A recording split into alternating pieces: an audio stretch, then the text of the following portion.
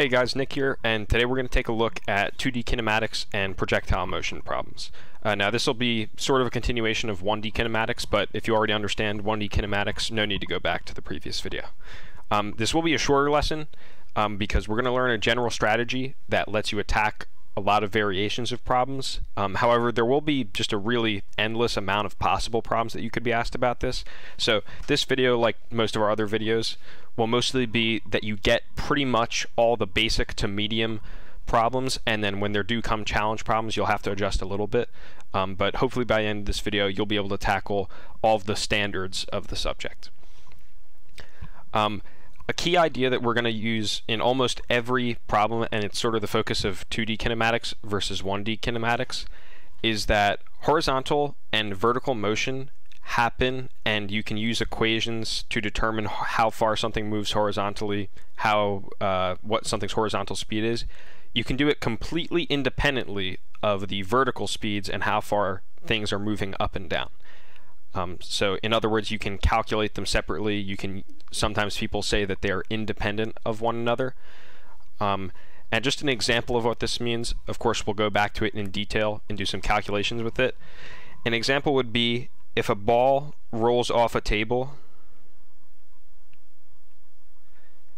and it rolls off of the table horizontally with speed 3 meters per second, after 2 seconds, the ball has still traveled six meters horizontally. Even though, yes, the ball is starting to fall downwards because of gravity, its horizontal motion is unaffected by gravity.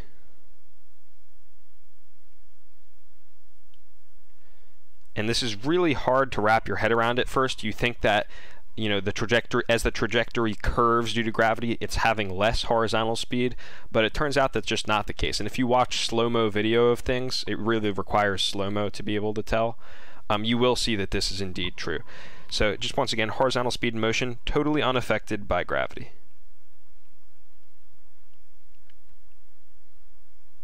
And again you might hear people say this as it's independent of gravity. And actually you know what we're going to use this so often, this goes in Galaxy Pen too. Okay. Now, our general attack strategy is going to be this. Actually, I should do this in yellow.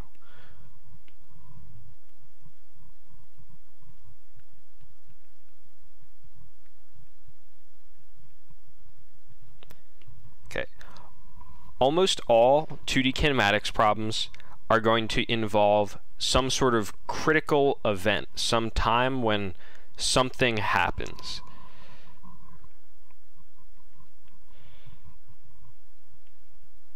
And let me give you an example of that because it's kind of a trivial statement right now. Oops. Come on.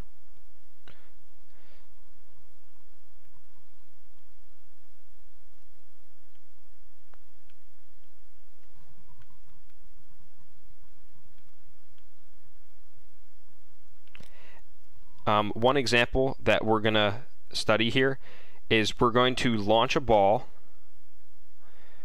with speed 20 meters per second at an angle of 30 degrees.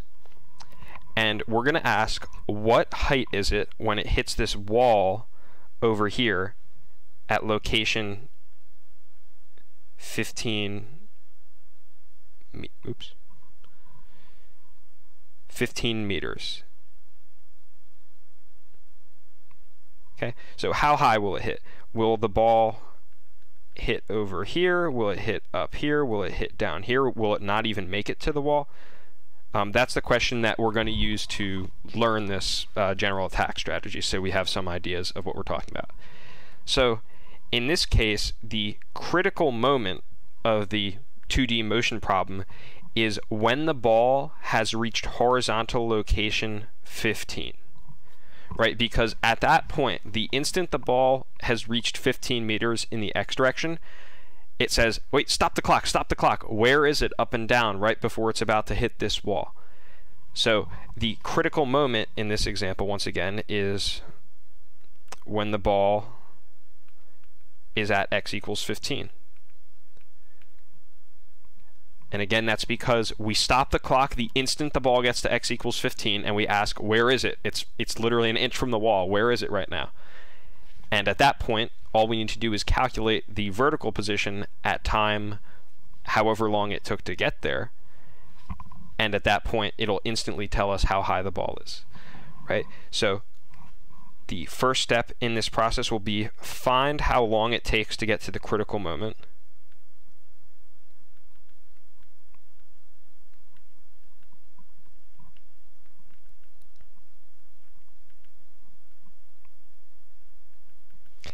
And then step two will be once you have that time,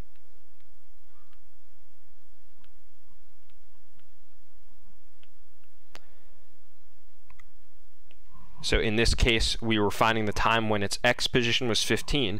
You find the other coordinate.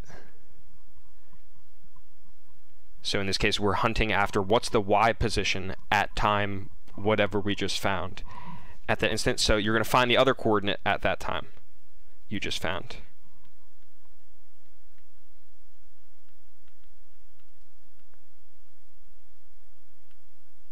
Okay, and we're going to do a couple different examples, but first let's attack the problem that we've been looking at so far. Now, I maybe should put a step zero in here, um, and it's going to be because very, very, very often we're going to need to decompose a diagonal speed into up and down arrows.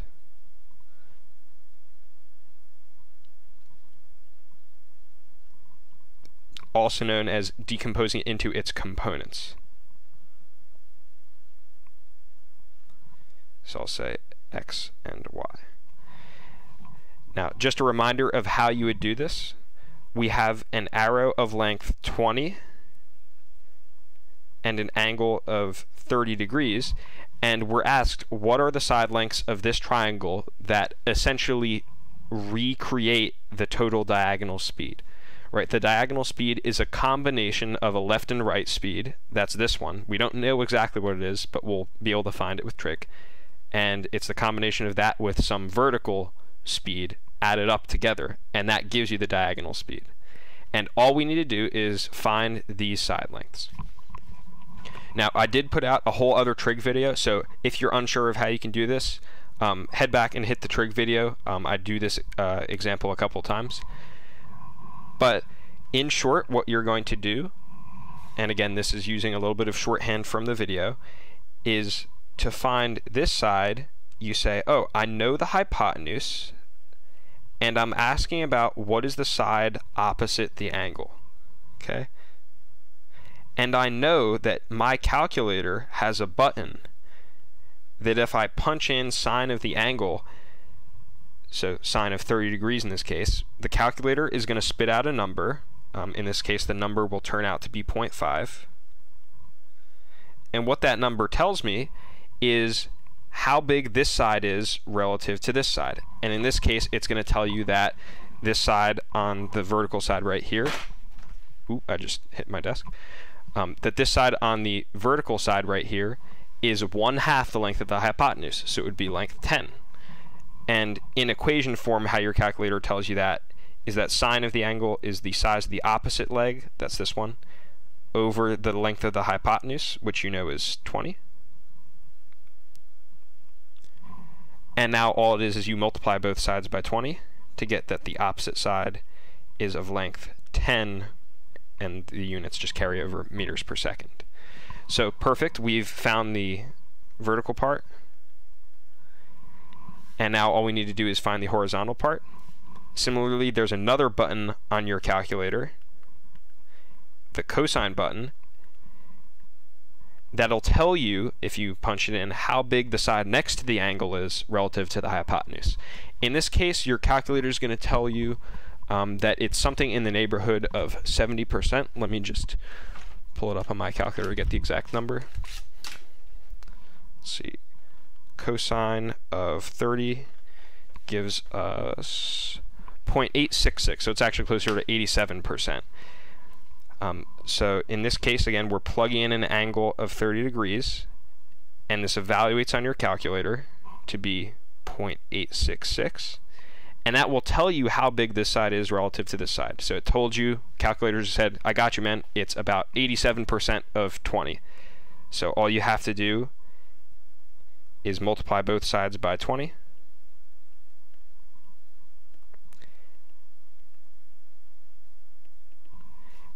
And you get that this side length is 17.32 and again you just tack on the units meters per second. So we've completed step zero now, we've broken down our triangle.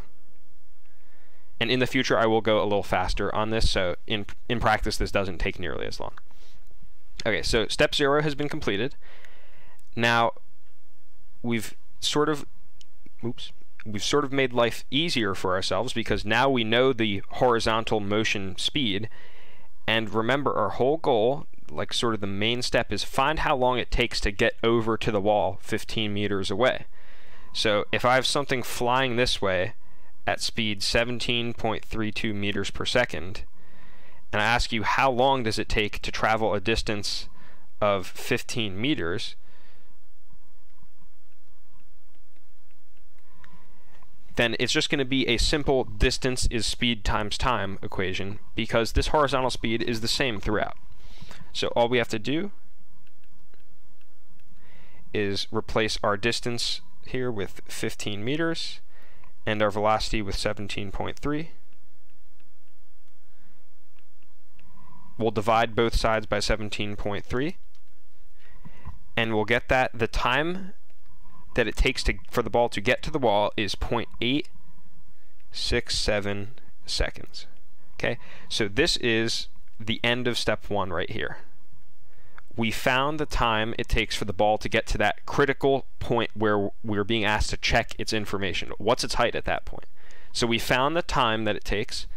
Now all we need to do is find its y position at time 0.867. Because again, this time is right before it hits the wall. We're asked, hey, check what the height of the ball is right now, right before it's about to hit this wall.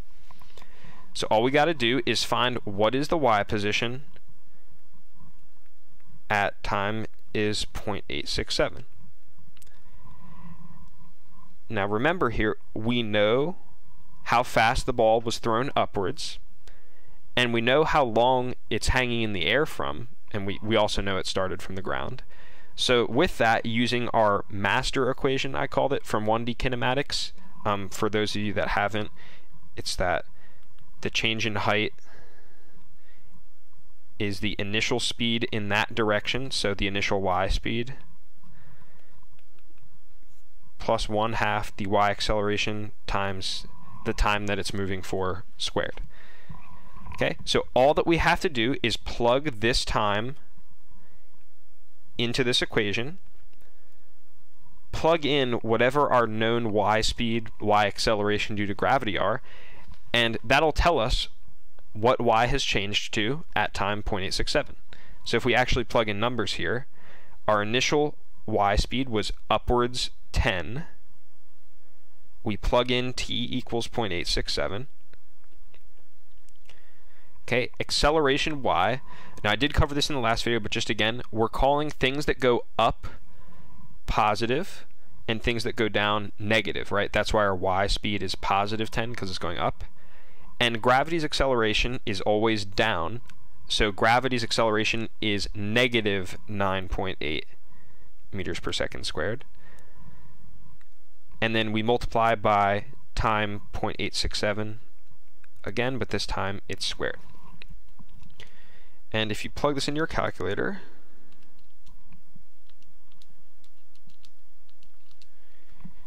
you get that it equals 4.99 meters.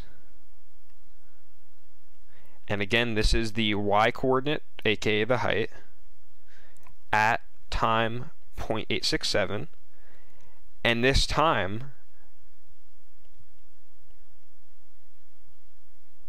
where the ball re has reached the wall. Where it has just reached the wall. Excellent. So again, just a quick recap. We decomposed this diagonal arrow into a purely horizontal component and a purely vertical component. And we know that once we have that broken up, according to our thing in Galaxy Pen here, that they work really quite separately of each other. So to find how long it took to get over to the wall in the left to right sense, all we had to do was do this simple problem of a ball moves to the right at 17 meters per second, how long does it take it to get 15 meters? We didn't have to worry about the fact that the ball was going up and down. Once we had that time that it took, all we had to do was plug in to the equation that tells us what height is at each time, which is this master equation right here, right? This outputs what the y coordinate is at each time. And at that point, we had our answer. Uh, now, one comment or one comment I want to make is I did use this form. Oops. Of the master equation with delta y. Some people write it as y equals y initial plus this other stuff. And for us, y initial was zero because the ball started on the ground. Um, but alternatively, you could write it as the change in y from your initial position is whatever. And then we found the change in y was 4.99 meters from the starting point of zero. So obviously the actual end height is 4.99. If you started on, let's say, a two meter tall stool, your answer instead would be 6.99 meters. Okay, let's do another example, and I'll go uh, just a tad bit faster. Um, and this will really be quite similar. Okay. Example 2 will be a ball rolls off a table. Oops.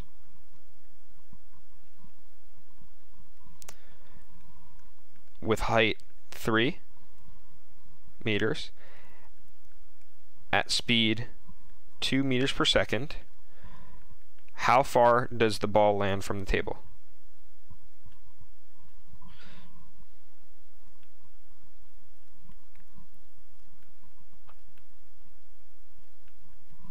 Okay, so here's our table, or our cliff.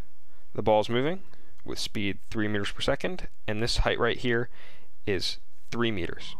And we're asking how far away will it land from the table's edge.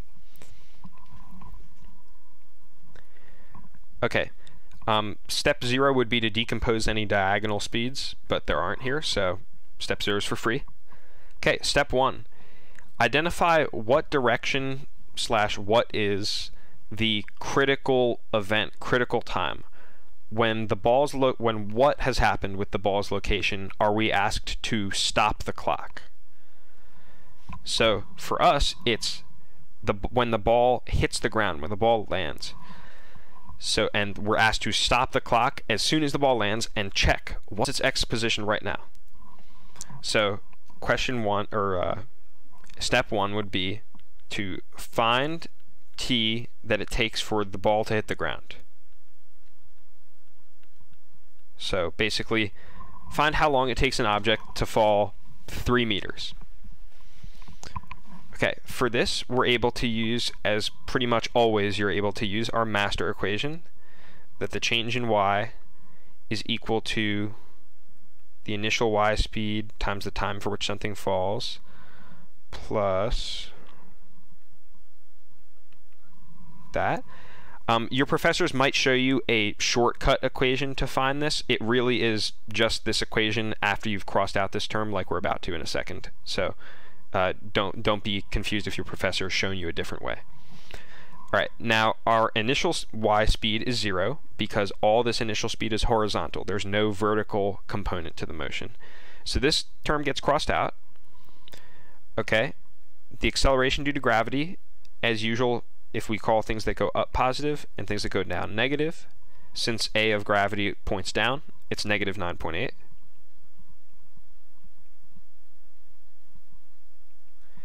Okay, and delta y is going to be negative 3. Why is it negative? Well, remember, it's y final minus y initial over here.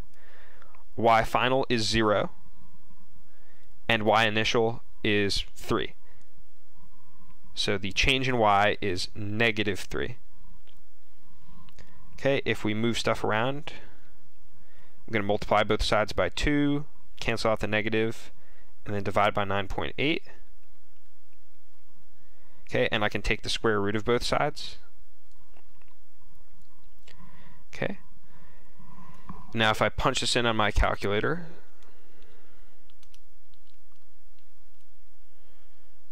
where is my square root key? There we are. We get that t equals 0.782 seconds. Perfect. So that is the critical time and all we now need to know is what is the other coordinate, so what is its x position after 0.782 seconds. Check it. Freeze the clock right the instant before the ball hits the ground, and how far left and right has it moved.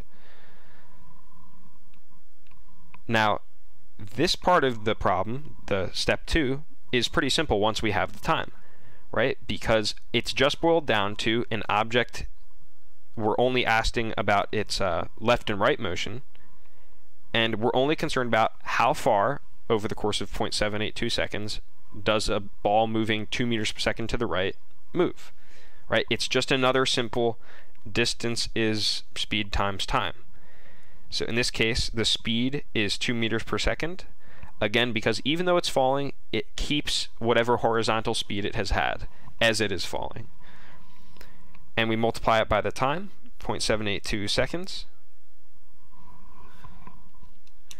and we get that the distance traveled is 1.56 meters. Excellent.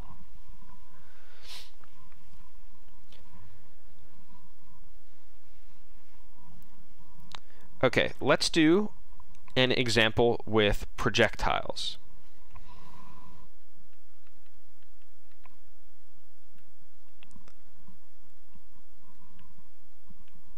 and I'm going to show you the full way and I'm going to show you a cheaty way. There's a secret equation you can use in a very certain scenario. Now those are always a little dangerous because it's tempting to use it when you're not allowed to, but I'll later show you a cheaty way that you can solve the problem really fast. So let's say I again have a ball, let's say the speed is 30 meters per second, and the angle that it's fired at is 60 degrees. So let me redraw the triangle to be a little more reflective. And I'm asked, what is the range that the cannonball lands at? So it's going to take this nice big arc, bang. Okay, so step zero will be to decompose this diagonal arrow into a rightwards arrow plus an upwards arrow and to find how big they are. Now again, to find this side, you're going to use the sine function on your calculator, which tells you how big the side opposite the angle is relative to the diagonal.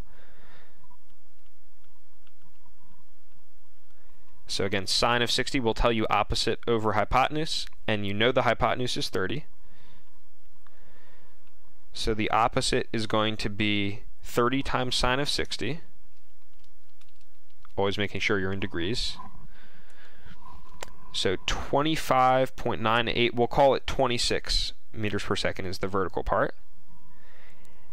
And then similarly to find this side, we're going to use the cosine table on our calculator, which looks up, says, hey calculator, next the side next to a 60 degree angle in a right triangle, how what fraction of the hypotenuse is it? And cosine of 60 will spit out I think it actually spits out exactly one half. Oops. And in indeed it does. So the adjacent is then of side of size 15 meters per second. Perfect. So step zero is complete. We've reduced that complicated diagonal motion down into a left-right component and an up-down component. Okay, step one is to find this critical event, this critical thing that happens when we're asked to stop the clock. Now, we're asked about the range of a projectile when it hits the ground again. So whenever its height is zero, is that critical trigger where the guy says, stop the clock, stop the clock, freeze frame. What X position are you at right now? We need to find what time he's asking about. So we need to find when, or find time when the height will equal zero again, obviously besides its initial height. Now, there's a couple ways to do this. Um, I'm going to show you the way that most people would instinctively do. Then I'll show you another way that is a little easier, but it can be a little trickier to remember. So the first way would be to write that the change in y is vit plus 1 half, and again this is the y speed only. Okay. Um, now if we we want when delta y is 0, okay, we plug in all the other variables that we know and we try to find t if it is the only leftover variable. So initial y speed, that's this vertical part, again treated totally independently of the fact that there's also horizontal stuff going on. So this is 26 times t. Okay, uh, ay is negative 9.8, so overall this is negative 4.9 after you do the division by 2. Okay, and at this point you can quote unquote divide both sides by t, or more strictly, you could factor it.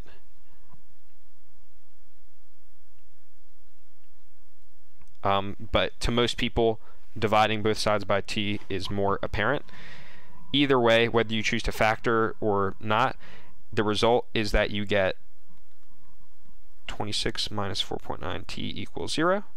Okay, all you got to do is move this to the other side and then divide both sides by 4.9. And you get that this critical time when the ball hits the ground again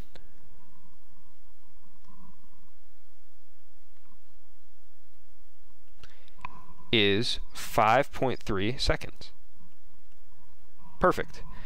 Now, all we need to do is find how far something moving 15 meters per second to the right moves to the right in 5 seconds. So for part 2, all we got to do is our usual distances speed times time. Again, this 15 is completely separate of the fact that there is y motion going on. All we care about is what's its horizontal location at time 5 seconds. So all we do is we multiply the 5 seconds it's flying for times its 15 meters each second it's in the air. Okay, and the result, if you multiply 15 by 5.3, is that d equals 79.5 meters. So that is the range of the cannonball. Um, by the way, I promised I would give you a way that some other people find this critical time. Um, some people do it by sort of the symmetry of this parabola, and they ask how long does it take the ball to get to the top which you don't express that as how long does it take to get to this height. You express the critical event as when the ball's vertical speed is zero. So an alternative way, and again this is not the most important so you don't need to use it, but it can be useful to know, is that an alternative way is find when the vertical speed of the ball is 0, and that's not this point, that's this point, and then all you do is you multiply that time by 2. So how you would find this is you use the fact that the change in velocity is acceleration times time. You have an initial upward speed of 10 and a final speed of 0. So your delta V is, or sorry, not 10, 26. You have an initial upward speed of 26, and by the end, at the at this point your vertical speed is down to zero so you have a delta v of negative 26 your acceleration is negative 9.8 this will give you t equals 2.65 seconds and then all you have to do is multiply it by 2 to get the ground time. Okay, actually, we're going to do another example with this later, I realized, um, because this does pop up pretty frequently on tests. When does a ball hit its apex? What is the highest point something rises to? Um, so we will do a quick example with this. You'll, as you see, it isn't that difficult, but there are multiple ways, and it's not always clear which one to use. Okay. Um, just as a side note here, actually no, let's let's do this as a full problem. We're going to extend this example because this is very frequently asked about. What is ball's velocity? So that means size and angle as it hits the ground.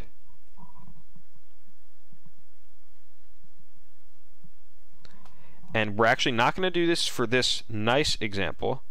What we're going to do is we're going to do this example right here because it's much less symmetric. It's much less obvious.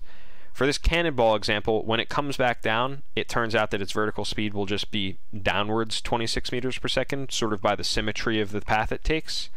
Um, but for this one, it's not really clear what to do. So we're going to extend this example to find its speed right before it hits the ground. Yes, its horizontal speed is still 2, but we need to find its vertical speed, and we're going to need to do Pythagorean theorem to find its total speed. So again, just as a refresher, we have this situation. Ball rolling off a 3 meter table at 2 meters per second we found that it takes 0.782 seconds before it hits the ground. Splat. So the splat happens at 0.782 seconds. Okay, and again, we're asked what is its speed, its total speed look like at this time? So its horizontal speed is still going to be 2 meters per second. The question is, what's its vertical speed?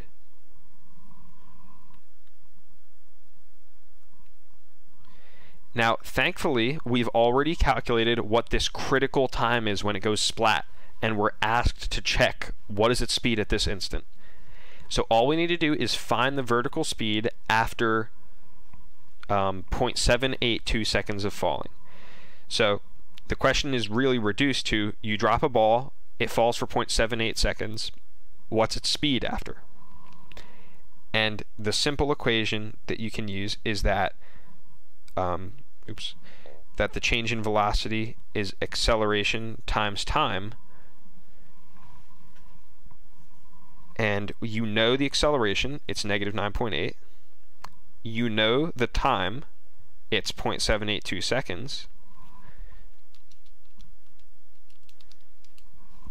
So the total speed, or sorry, not the total speed, the downward speed that it has, right? This is only for its y speed. We do the y speeds separately from the x speeds, is negative 7.66 meters per second. And again, this negative sign, all it's saying is that the ball started with zero speed, and now its speed is pointing very far downwards, right? So you can alternatively write this as 7.66 meters per second down. So at this point, we've done all the actual physics. All we need to do is convert this triangle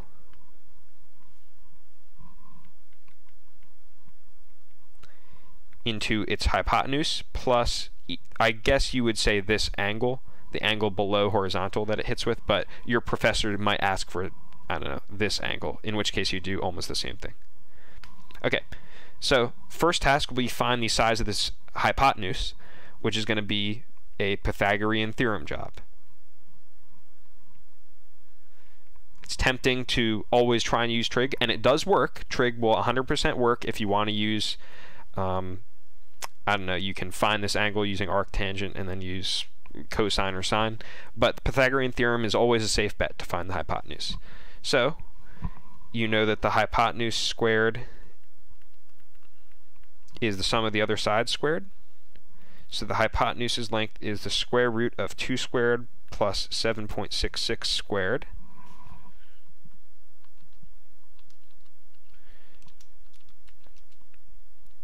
And if you punch that into your calculator, you get that it is 7.92 meters per second of total speed.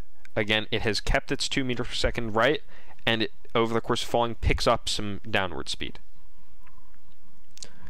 Okay, and now all there is left to do is to find this angle. Now you know from trig that if you know these two sides of a right triangle, that you've got that angle. And the way you do this, again, this is covered in the uh, trig video, is, oops, not 10, I get negative 1. You say, hey, I have the opposite and adjacent sides here. I sure wish I could use this formula to do something about that. So instead of adjacent, we have 2, and instead of the opposite angle, we write in our value of 7.66. And all you have to do is you take the arc tangent of both sides. Again, this is different than cotangent, and it's different than 1 divided by tangent. It's a new button on your calculator. Okay, and this tells us theta is arctan of this. And if you punch this in in your calculator,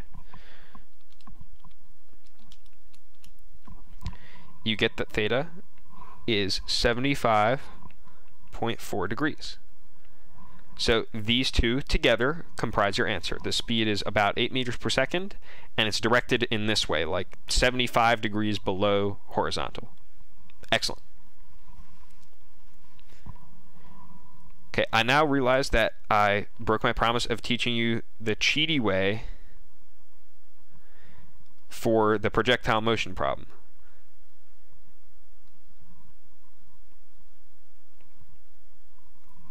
And I may choose to cut this in the actual video and put it next to the example. Um, so there is a cheaty formula for projectile motion. Um, that that is this. I should actually say it's the cheaty formula for projectile range. So this. So for projectile, oops, for projectiles ranges. Now, first a word of caution. This only works for ground launch, so it can't be launched off of height.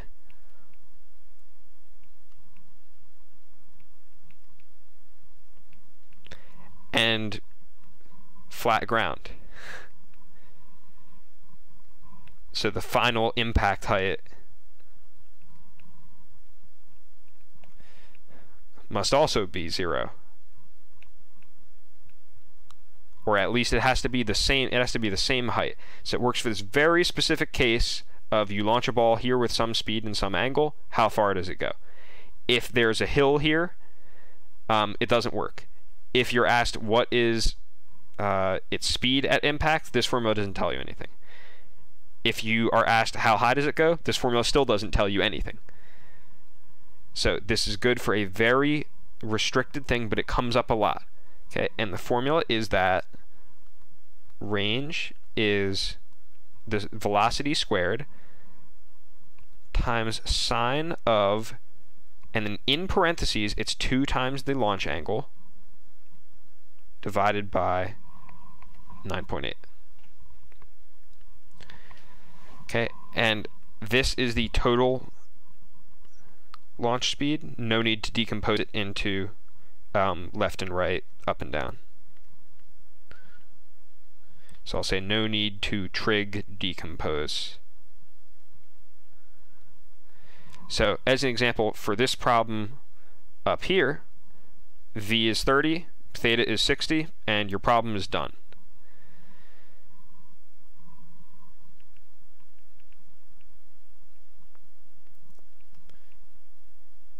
Range would be 30 that's our speed squared.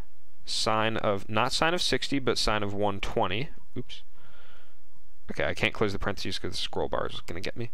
And you divide by g, which is 9.8. Uh, by the way, just a comment, guys. Whenever you see g in a formula, usually it means the size of gravity's acceleration. And when you're writing in the acceleration into equations, that is the size it's of size g pointed down, so negative 9.8. So usually g represents the number positive 9.8, but it's pointed down when you punch it into equations involving accelerations.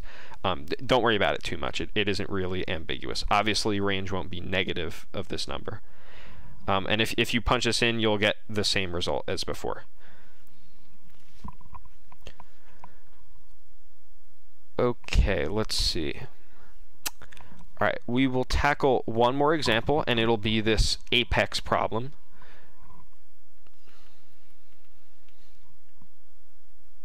A basketball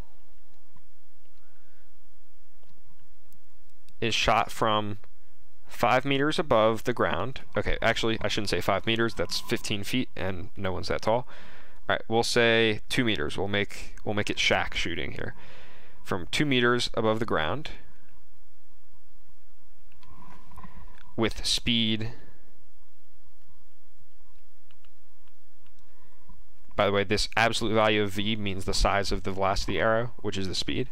Um, with speed 3 meters per second at launch angle 50 degrees.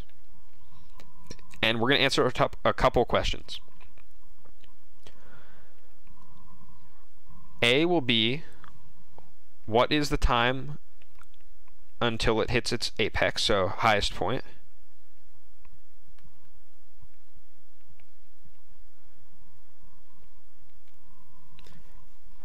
Part B will be what is its velocity at the highest point. And then for a challenge example, we're going to say the hoop is at height 2.2 meters. Uh, this is not the actual height of a basketball hoop. It's a little bigger. I think it's probably near three and a half meters. Um, hoop is at height 2.2 meters. How far away should the player stand to make the shot?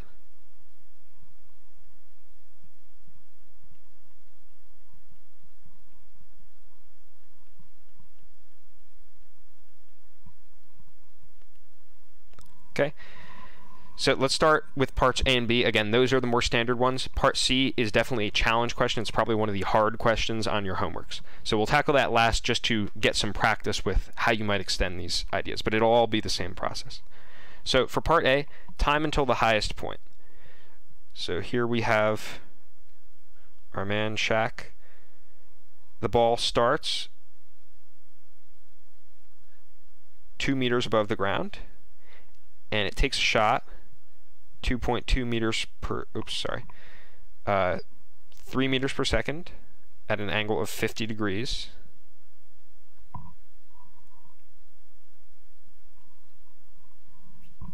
Oh, sorry, 3 meters per second of speed at angle 50 degrees. Okay, first question is how long until it hits the highest point? So, first step, as always, is step zero, we want to decompose this triangle into its left piece and its right piece. So by now we're getting a little faster at this. We say, hey, the sine formula is going to tell us this. Sine 50 will tell us what the opposite side that we're hunting for is divided by the hypotenuse, which is 3. So the opposite side is length 3 times sine of 50, which is 2.3 meters per second. So this side is 2.3 meters per second. And to get this side, we know that, hey, the cosine formula usually tells us what that is. The cosine button will tell us what the adjacent side, which we're hunting for, is divided by hypotenuse. So we multiply 3 times cosine of 50 to get the adjacent side.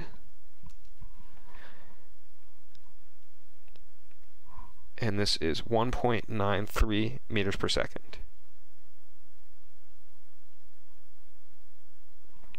Okay, perfect. Step zero is done. All right. The time until the highest point. So the thing that's special about the highest point, like the trigger that says, "Hey, you've reached the highest point. Check check it out at this time. What's going on?" The trigger is that the vertical speed of the ball has become 0 instead of its original speed of upwards 2.3. So to find how long it takes that speed to get killed off, once again we use our equation that the change in speed in the y direction is the acceleration times the time. Now we know that the change in speed is going to be negative 2.3, right? Because it starts with positive 2.3 and then all that positive 2.3 gets killed off by the end. It subtracts out. So the total speed change is negative 2.3 and that equals gravity acceleration is negative 9.8 as usual times the time for which that acceleration is happening. And at this time, the total speed change will have added up to negative 2.3, meaning that whatever time we find, that's the time where the y speed will get totally killed off to zero. So all there is to do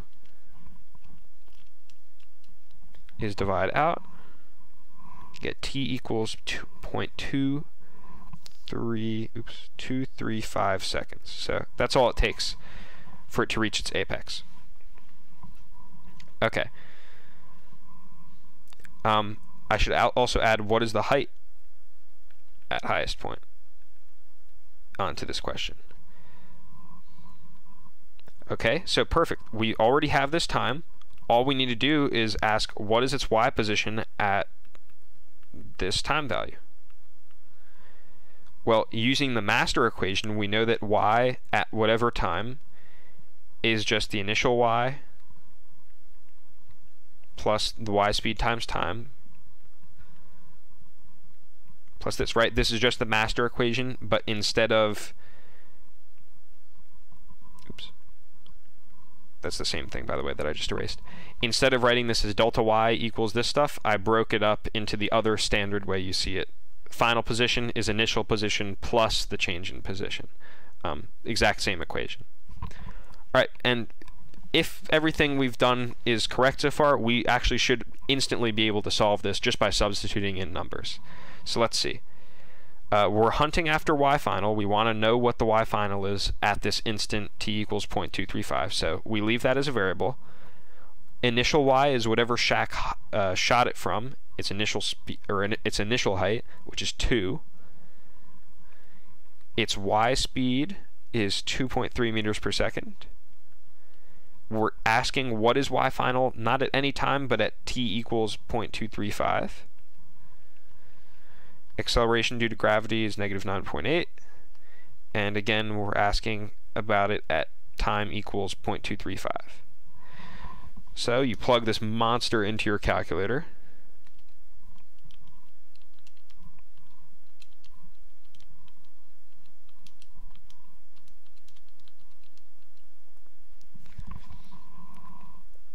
and you get that the y final at this time, t equals 0.235, is 2.27 meters above the ground. Awesome. By the way, I'm just going to make this height a little smaller. Okay. Part B. What's its velocity slash speed, or sorry, what's its velocity at its highest point?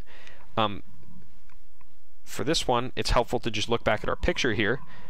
Once the ball reaches its highest arc, or the highest point in its arc, it still has its horizontal motion, so it still keeps this 1.93 meters per second. And does it have any vertical speed that instant at its at its highest point? No, right? It's it's just at that point where its vertical speed used to be 0.1 meters per second up. For now, it's zero, and in a second, it's going to be 0.1 meters per second down. But at this instant, there's no speed. So the whole answer is that for part B, it's just 1.93 meters per second to the right. And that's just from drawing the picture. Now again, just a reminder, it's not 3 meters per second, right? Because the vertical part here, it got gradually killed off as time went on. But this horizontal speed that we found using trig, it did stick around. Okay, at this point, we'll start the challenge example, um, and after that, it'll wrap up the video. Um, as usual with challenge examples, don't be discouraged if you don't get them immediately. The absolute most important things by far in the rest of this video are parts A and B, and the methodology behind them. But let's take a look at part C for some possible extensions that you might see. Okay, so I said that the hoop is 2.1 meters in height.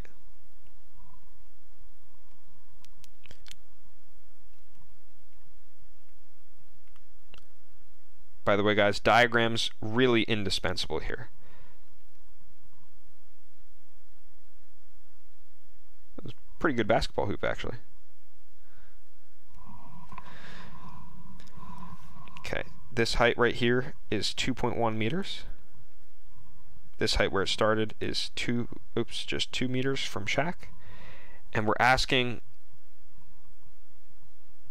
how far will this distance, how far should this distance be so that just barely the ball is located height 2.1 at, well, however far this is. Okay, so uh, we've already broken down the initial speeds. Let me just copy down that triangle. So we had 3, 1.93 going to the left, 3 on the diagonal, which we won't really need, and then 2.3 meters per second going upwards. Okay, so here's a pretty complete diagram of the situation. Okay, now we have already broken up things, so step zero is done. All right, step one. What is the critical like trigger that tells us, hey, check, check, is the ball right over the basket? And the check is going to be when is the ball's height?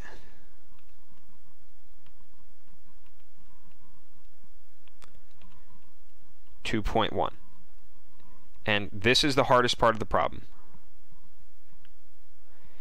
being able to rephrase this question of how far away should the basket be into identifying this thing in the problem that you're actually going to be able to find, which is what time does the ball pass by the hoop's height?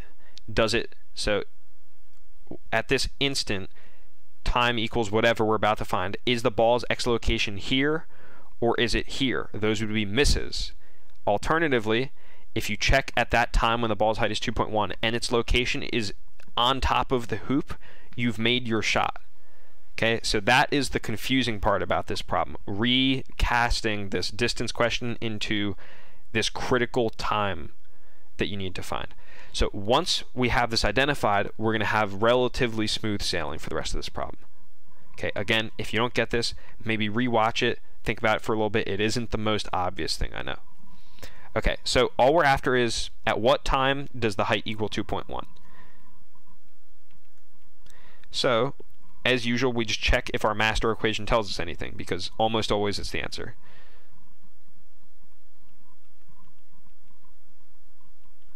Okay, um, let's check if do we know every variable in this equation except for time? Well, we know y final because it's 2.1. That's going to be the y at the time we're asking about. We know y initial. We know its initial y speed. It's 2.3, right? This. We don't know time, so that's okay. As long as there's only one variable in this equation, we're safe and we can guaranteed find it. Okay, acceleration due to gravity is negative 9.8 as usual. All right, awesome. So we actually have one equation, one unknown. So we are guaranteed to be able to know what t solves this. It might take the quadratic formula, which yes is annoying, but we're guaranteed to get the answer. Okay, perfect. So all it is is, okay, unfortunately, we do have the quadratic formula here because we have t squared nt, and we can't like divide through by t. So we're going to have to do some quadratic formula grinding. Now, at this point, once you've checked this, you should just breathe a sigh of relief. Say, I know the quadratic formula is coming. I know it's ugly, but you know, it's a couple steps and I'll get t equals two seconds or whatever, and at that point all the ugliness doesn't matter. All I'm doing is this ugliness to find something to complete your goal. Okay. So I'm, all I'm going to do for the next couple lines is move terms over so I get the nice positive sign. So I'll move this over, move this over, move this over. So 4.9 t squared minus 2.3 t plus 0.1 equals 0. Okay, again, all I was doing is moving terms over because we're going to need a quadratic formula. Okay, now I use quadratic formula to find t.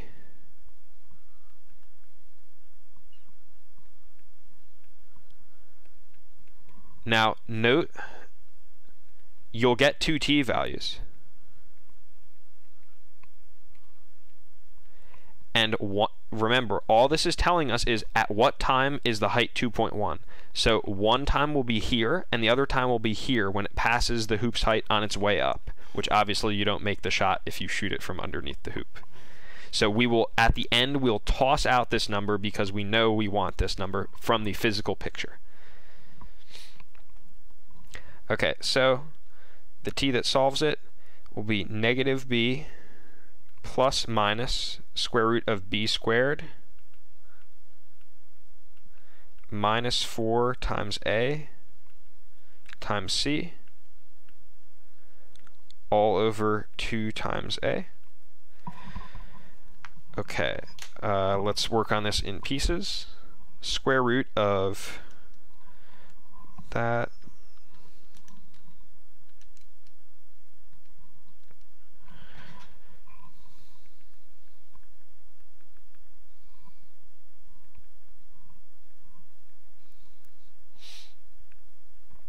Okay, again, we have two numbers for t here, and we want the bigger one because that's the time when it's coming back down on its way to the hoop.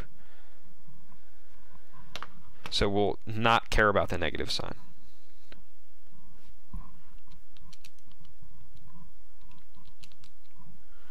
So t equals 0.421 seconds. Tragic, only 0.001 off of a nice number. Okay, so at this point, we've found this critical information time, and all we need to do is convert that using like d equals vt into a distance. So let's see. What distance should we have so that the ball, which is moving at horizontal speed 1.93 meters per second, cover it in uh, 0.4 seconds.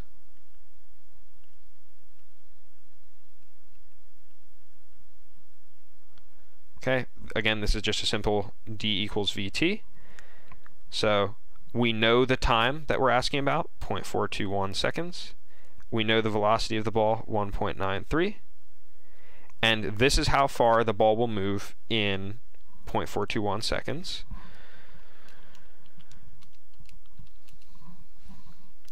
So distance will be 0.813 meters. And that's the final answer to the challenge problem.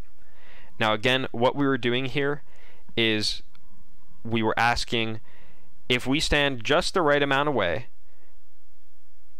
after 0.421 seconds, which regardless of how far I stand is where the ball will come down, if I stand just right after 0.421 seconds, this ball, which moves this fast for those 0.421 seconds, will go perfectly on top of the hoop because we place the hoop 0.813 meters away, right?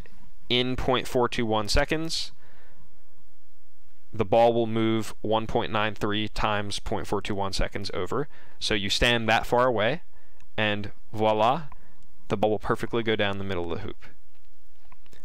All right, guys, excellent work today. Uh, that's 2D kinematics mostly done. Again, there are a lot of other possible problem types. Don't get too flustered. There will be this difficult art of converting these seemingly weird questions into oh, find the time that we're asked about the snapshot of. But um, don't get too phased by that, really. Um, yeah, uh, just one final comment will be um, be careful using the range formula. People love to use it for everything, but I promise you it is much more dangerous than it is helpful because you can only do it on flat ground. So be careful with it. Stick in general to this 0, 1, 2 step process. And best of luck to you, and I'll see you in the next video where we'll start forces, which is the most difficult, yet the most rewarding thing in physics once you get it right. I'll see you there.